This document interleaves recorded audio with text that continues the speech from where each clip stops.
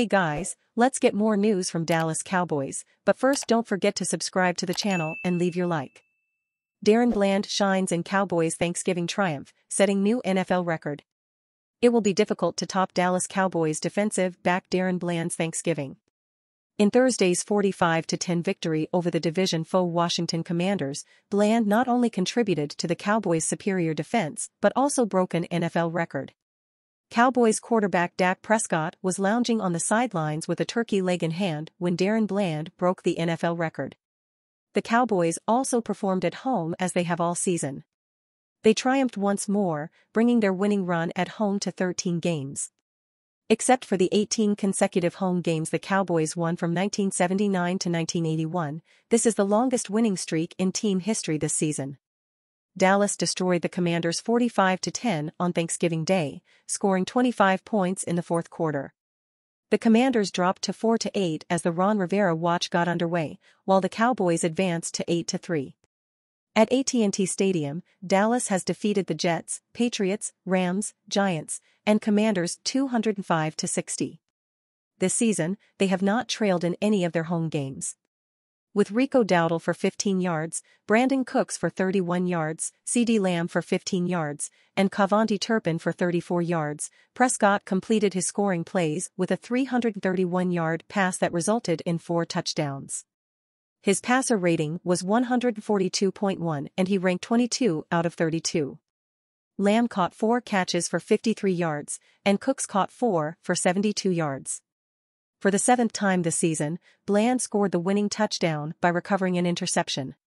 Since last week, he had shared the NFL record for most pick sixes, 63 yards, with Eric Allen, 1993, Ken Houston, 1971, and Jim Kearney, 1972. This season, he has scored touchdowns against Daniel Jones for 22 yards, Mac Jones for 54 yards, Matthew Stafford for 30 yards, and Bryce Young for 30 yards. His victory against Young came last week. When Bland leapt for a pass meant for Jahan Dotson, Sam Howell, Terry McLaurin, and Brian Robinson had chances to stop him from getting into the end zone.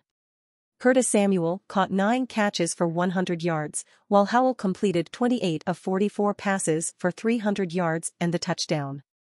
With a mini-bye approaching, the focus now will be on whether Josh Harris, the new owner, will try to fire Rivera on Black Friday. During his tenure in Washington, Rivera is 26-35-1. The Washington Commanders have a difficult assignment when they host the Miami Dolphins on Sunday, December 3rd. Meanwhile, the Dallas Cowboys open Week 13 at home against the Seattle Seahawks. Cowboys Dak Prescott reveals idea behind turkey legs in Salvation Army bucket. Dak Prescott and the Dallas Cowboys are having a lot of fun these days. Playing well and winning, which do not always go hand in hand, tends to have that effect.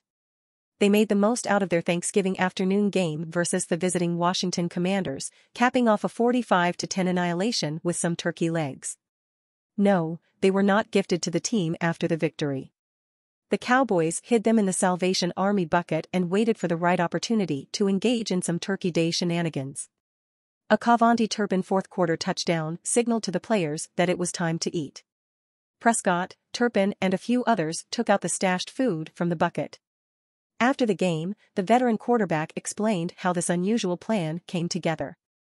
Team effort, team idea, he said, per Nicki Jhabvala of The Athletic. We talked about as probably a two, three day long process of whether it'd be a 15 yard penalty and whether coach, Mike McCarthy, would accept it. I actually go talk to coach before every game and sure enough I caught him talking to owner Jerry Jones, and so I mentioned it. Of course, Jerry liked it so yeah.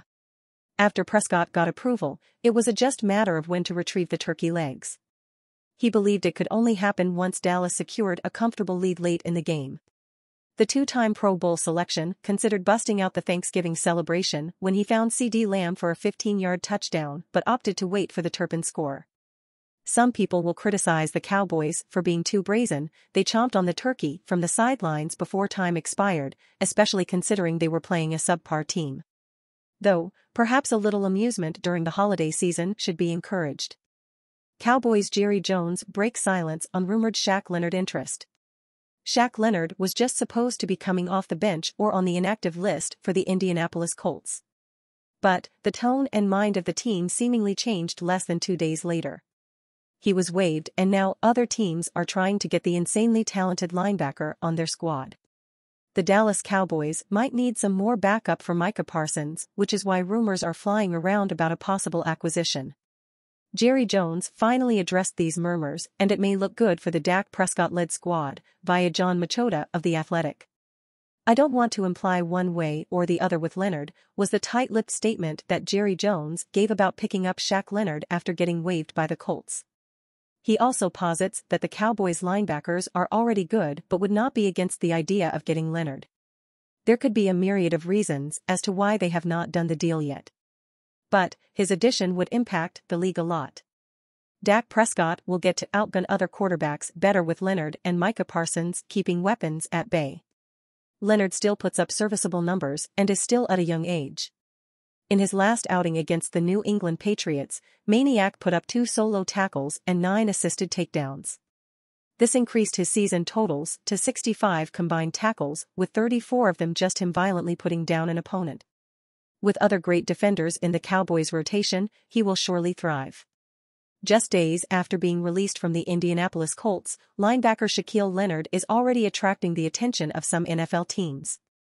According to a publication by Dianna Russini, from The Athletic, this Thursday, 23, the Philadelphia Eagles, Dallas Cowboys, and Minnesota Vikings are among the teams that collect information on the defender.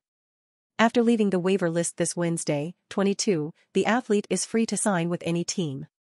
The franchise that reaches a deal with Leonard will assume his $6.1 million base salary for the remainder of the 2023 season, plus a $6.5 million injury guarantee for 2024. A second-round selection in the 2018 draft by Indianapolis, Leonard has already been nominated for both the Pro Bowl and the league's All-Pro three times during his career, being considered one of the best LBs in the NFL. However, he was losing space with the Colts after suffering a back injury that ruled him out of the 2022 season. And you fan, what do you think of the Shaq Leonard situation? Leave your opinion in the comments.